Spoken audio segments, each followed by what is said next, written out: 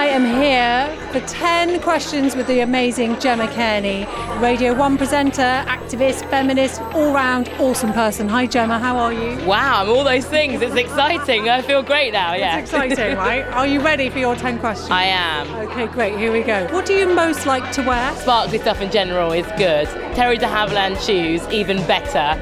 Um, and if I could afford it, lots of Ashish. I'd just be weighed down in big sequins. what do you least like to wear?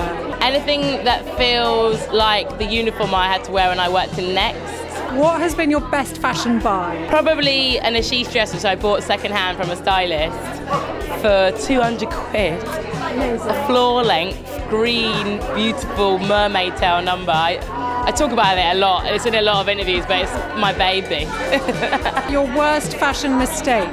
Honestly, the lists are endless. What do you love about fashion? I love that it makes people feel really emotional when it really is just clothes, but it's kind of not. What's in your handbag? My BBC pass, so I always forget it. Granules of bronzer because it always explodes. Um, just bits of clothing because I live out of London now as well, so it's just like I'll need this for this and that for that and this for this. It's a big bag stuffed to the rafters. What beauty item can you not live without? I do really like those old school Barry M pots of glitter. Again, they explode in my bag.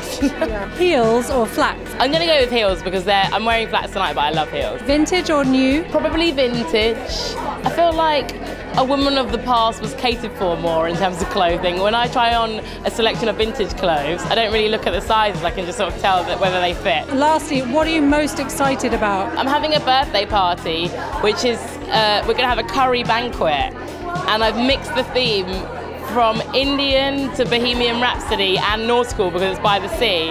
And it sounds really bananas, but when I was Googling all these buzzwords, there is an amalgamation to be found.